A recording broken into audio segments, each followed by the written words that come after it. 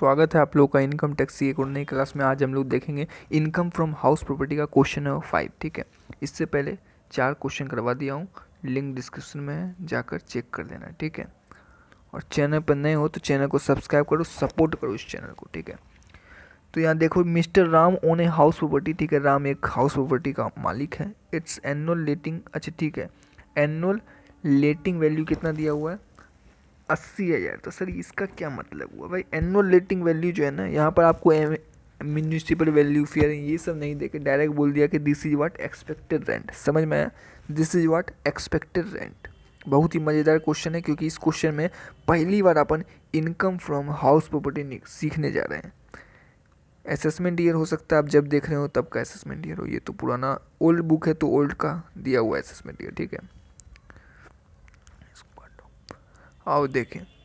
तो ये क्या आपका एक्सपेक्टेड कॉपी निकालो और लिख लो एक्सपेक्टेड रेंट अस्सी हज़ार है, ठीक है? During previous year it was let out a ten एक टेनेंट को हमने भाड़े पे दिया था। मंथली रेंट हमने लिया, कितना? सात हज़ार रुपया महीना हमने किसी को भाड़ा पे दिया अपना मकान या किराया लेंगे, सात हज़ार रुपया पर मंथ ठीक है? ही क्लेम फॉलोइंग एक्सपेंस कुछ उसने एक्सपेंस जैसे क्लेम किए, जैसे म्यूनिसिपल टैक्स उसने आठ हज़ार रुपया दिया, यानी मालिक ने, ठीक है? एक्सपेंस फॉर रिकवरी रेंट छः सौ रुपया अच्छा। यानी वही रेंट रिकवर करने के लिए कुछ खर्चा करना होगा। किया होगा भाई? वो दे नहीं रहा होगा तो कुछ खर्चा किया होगा उसने उससे मांगने के लिए, ठीक है? मेंटेनेंस उन्टेनेंस का फ़ी है अच्छा। स्टेप मदर इतना। देखो, ये सब चीज़ का डिडक्शन मिलता नहीं है, ठीक है? ये, इस, ये दोनों का डिडक्शन तो मिलने से रहा, ठीक है? मेन डिडक्शन हम लोग म्यूनिसिपल टैक्स पढ़े हैं। कि भाई एम टी म्यूनिसिपल टैक्स का डिडक्शन मिलता है, ये दोनों का नहीं मिलता, ये दोनों बेवकूफ़ बनाने के लिए लिख दिया है झूठ मूठ का। चलो।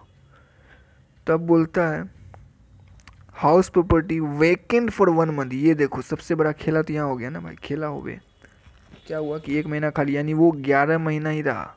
वो बंदा ग्यारह महीना ही रहा, यानी कि उसका एक्चुअल रेंट ग्यारह गुने सात हज़ार आएगा, न कि ग्यारह गुने सॉरी न कि सात हज़ार गुने बारह।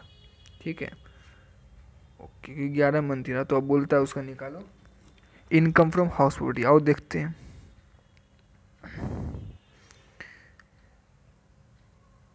अपने को निकालना है कंप्यूटेशन ऑफ़ इनकम अंदर head house property of assessment year जो आपका है। एक्सपेक्टेड रेंट क्वेश्चन में दिया हुआ था अस्सी हज़ार रुपया। एक्चुअल रेंट हमने निकाला सात है गुने ग्यारह। क्यों ग्यारह? एक महीना खाली रहा है घर।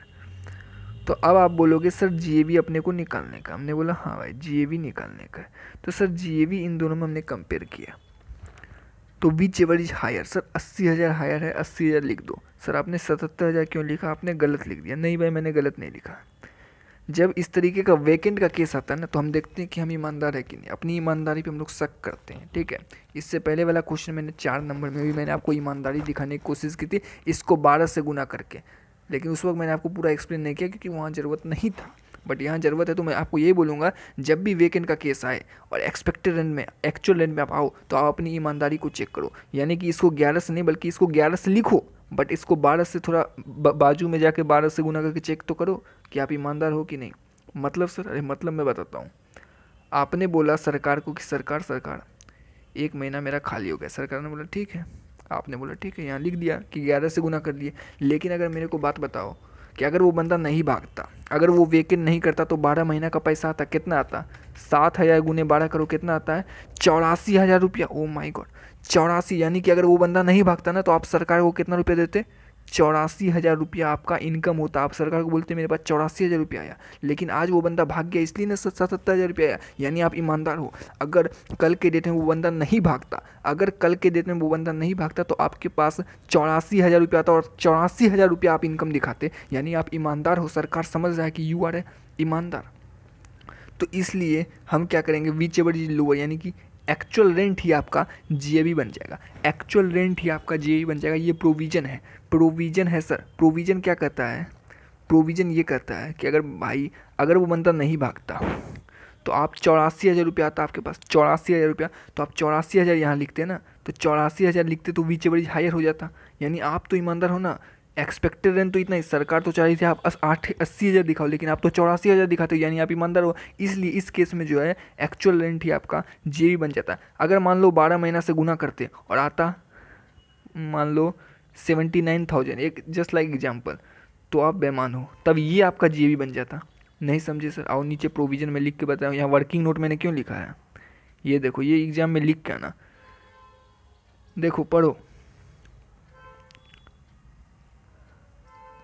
Where let out property is vacant let out property का मतलब होता है लेट आउट प्रॉपर्टी उसको कहते हैं जिसमें भाड़ेदार बैठा हुआ है, भाड़ा लगा हुआ है वो घर, ठीक है? For a part of a year and owing to the vacancy मतलब वैकेंसी के कारण एक्चुअल रेंट लोअर हो गया। सही बात है भाई वैकेंसी आज मैं अगर बोलूँ वैकेंसी नहीं होता तो मेरा एक्चुअल रेंट क्या होता? ज़्यादा होता। तो वैकेंसी के कारण मेरा एक्चुअल रेंट जो है इससे लोअर है। सही बात है भाई। एकदम इंग्लिश एकदम ईजी लैंग्वेज में लिखा है। तो because of vacancy actual and lower है देन एक्सपेक्टेड एंड सही बात है भाई। Then actual and will be G A B oh my God यानी एक प्रोविज़न कर रहा है कि एक्चुअल रेंट ही आपका जी ए बी हो जाएगा। Otherwise expected and G B होगा। अगर आपका बारह से गुना करने पर बारह से गुना करने पर एक्चुअल रेंट अगर ज़्यादा नहीं आता तो आपका एक्सपेक्टेड रेंट ही जी हो जाता। लेकिन बारह से गुना करने पर हम चौरासी हज़ार रुपये आया। चौरासी हज़ार रुपये, यानी यू आर ईमानदार, आप ऑनेस्ट आदमी हो, आप सरकार को चौरासी हज़ार रुपया दिखाते ना, अगर बारह, अगर वो बंदा नहीं भागता तो चौरासी हज़ार रुपया दिखाते, तब इसीलिए आपका जो है ए आर जो है एक्सपेक्ट एक्चुअल रेंट ही जी बन जाएगा। समझ में आया? अगर अगर अस्सी हज़ार से कम होता बारह से गुना करने के बाद भी, अगर अस्सी हज़ार से कम होता बारह से गुना करने के बाद भी तो आपका एक्सपेक्टेड रेंट ही वाट जी बन जाता। समझ में आया? सर हमें कुछ समझ नहीं आया। देखो सिंपल समझो। जब भी वैकेंसी का केस होगा तो जो एनुअल जो मंथली इनकम है उसको गुना करना। किससे गुना करना? उसको बारह से गुना करना और जब बारह से अगर गुना करने पर वो इससे कम आ रहा है तो इसको ही जो है, इसको ही जो है जे भी ले लेना। लेकिन अगर वो बारह से गुना करने पर इससे ज़्यादा आ रहा है एक्सपेक्टेड रेंज से तो उसको क्या कर देने का? तो एक्चुअल रेंज जो है, ये एक्चुअल रेंज यही जो है आपका जी भी बन जाएगा। अब इससे ज़्यादा मैं नहीं समझा सकता। मैंने पूरा जी जान लगा दिया। नहीं समझ में आया तो वीडियो को पॉज करो और पीछे जाकर देख लो, ठीक है? तो अब समझ में आया कि लोअर को ही क्यों लिया है? इसलिए लिया है क्योंकि क्योंकि वैकेंसी के कारण वैकेंसी के कारण हमारा एक्चुअल रेंट कम है साहब।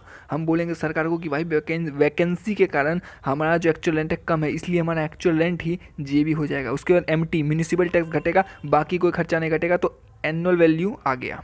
ठीक है? अब आ जाओ। अब उसके बाद डिडक्शन मिलेगा, क्योंकि अपन annual value net annual value के बाद अपन डिडक्शन देंगे, तभी जाकर अपना टोटल इनकम निकलता है। तो डिडक्शन दो प्रकार का होता है, एक होता है थर्टी परसेंट ऑफ़ एन यानी deduction under section twenty four में जाने का। ठीक है? थर्टी परसेंट एन और इंटरेस्ट ऑन लोन तो यहाँ कुछ इंटरेस्ट का लफड़ा था नहीं, इसलिए ये खाली रहेगा। और दूसरा आ जाएगा, थर्टी परसेंट एन यानी सिक्सटी नाइन थाउज़ेंड का थर्टी परसेंट निकालो। कितना आता है? बीस हज़ार सात सौ तो उस बीस हज़ार सात सौ को यहाँ डिडक्शन दे दिए तो आपका आ गया इनकम फ्रॉम हाउस प्रॉपर्टी कितना? Forty eight thousand three hundred ठीक है? और ये प्रोविज़न जो है चिपका का ना वर्किंग नोट वन में एग्ज़ाम में अगर आएगा इस टाइप का क्वेश्चन ऑब्वियसली बात है। वैकेंसी का जब भी क्वेश्चन आए, इसको चिपका के आने का है, ठीक है? और समझ गए ना? समझ गए? सर, इससे ऊपर वाला क्वेश्चन जो था, चार नंबर वहाँ भी वैकेंसी था, लेकिन आपने ये सब नहीं बताया, वहाँ ये ज़्यादा था ना, वहाँ ये ज़्यादा दिखा रहा था तो ज़्यादा दिखा रहा था तो बात ही ख़त्म। यहाँ पर ये कम दिखा रहा है ना, वहाँ तो पाँच लाख दिखा रहा था, इससे ज़्यादा था तो मैंने डायरेक्ट ही लिख दिया। लेकिन यहाँ कम है लेकिन अपन ईमानदार है। कम इसलिए है क्योंकि वैकेंसी कारण कम है, इसलिए इसी को अपन जी भी लेंगे। समझ में आया? बहुत टाइम मैंने वेस्ट किया इस पर आप लोगों को समझाने के लिए, ठीक है? आई होप समझ में आ गया होगा, ठीक है? इंपॉर्टेंट क्वेश्चन है और मैं इसे वी वी आई क्वेश्चन के अंतर्गत मैं इसे रखूँगा, ठीक है? सब करवा दिया है। ये देखो आंसर अड़तालीस या तीन सौ। चलो, ठीक है? इससे पहले का जो क्वेश्चन है लिंक डिस्क्रिप्शन में दे दूँगा, जाके देख लेना। सैलरी का बहुत सारे क्वेश्चन मैंने करा रखा है, उसका भी प्लेलिस्ट का लिंक डिस्क्रिप्शन में दे दूँगा। टेलीग्राम चैनल ज्वाइन कर लो, लिंक डिस्क्रिप्शन में है। Thank you very much.